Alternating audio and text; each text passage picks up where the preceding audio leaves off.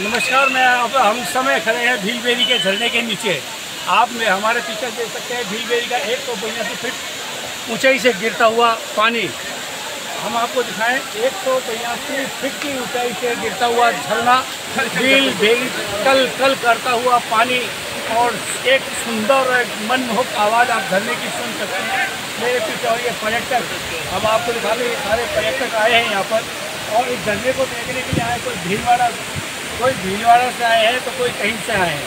अलग अलग क्षेत्रों से अलग अलग जिलों से ये यहाँ पर सारे पर्यटक आए हैं। और आप देख सकते हैं, वो देखिए, वहाँ पे झरने के नीचे नहाते हुए। ये बड़ा जोखिम भरा काम है।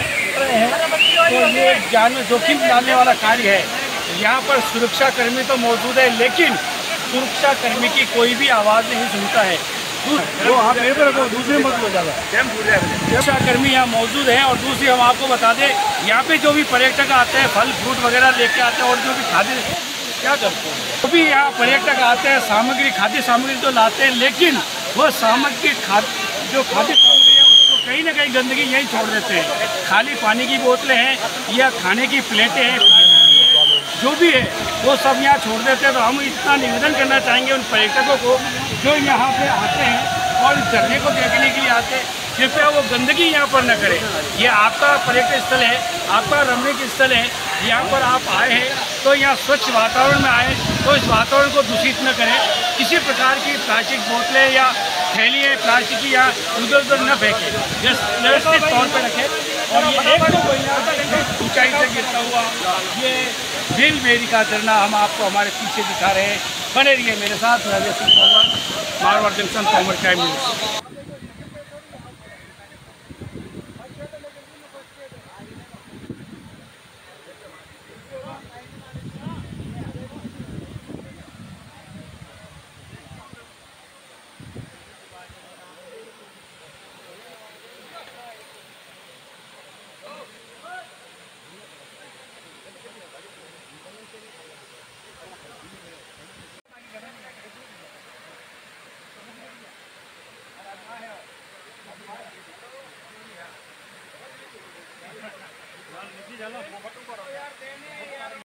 मेरा नाम प्रमोद सिंह अरूका है। मैं यहाँ फॉरेस्ट रेंज ऑफिसर जोजावर हूँ। मेरे फॉरेस्ट एरिया जो ये पूरा एरिया टाटगढ़ रावली सेंचुरी का एक पार्ट है और इस रेंज का पूरा एरिया लगभग तेरह हज़ार हेक्टेयर लैंड है। और ये पाली ज़िले का एरिया है। हमारे टोटगढ़ डावली में पाली ज़िले की पाली ज़िले का लगभग छब्बीस हज़ार हेक्टेयर लैंड यहाँ पर टोटगढ़ रावली के अंदर आता है। मेरे इस एरिया में सबसे बड़ी हमने जो उपलब्धि हासिल की है वो ये है कि हमने यहाँ पर ग्रास लैंड बहुत ही अच्छा डेवलप किया है। ग्रास लैंड से कहने का मतलब है कि घास के मैदान। एक्चुअल में यहाँ पर कुछ समय पहले जो फ्यू की कमी थी, जो जलाने की, लकड़ी की कमी थी, उसको पूरी करने के लिए यहाँ के जोधपुर महाराजा ने विलायती बम्बूल का रोपण करवाया था। उस टाइम तो ये वरदान था, लेकिन धीरे धीरे उस विलायती बम्बूल ने हमारे यहाँ की सारी स्पीसीज खत्म कर दी ग्रासलैंड खत्म कर दिए, हमारे वाइल्ड लाइफ खत्म कर दिए उसका हमारे द्वारा इस बार इन तीन सालों में लगातार हमने ग्रासलैंड डेवलप किया, हमने जूली फ्लोरा हटाया और यहाँ की जो लोकल स्पीसीज है वो लगाई।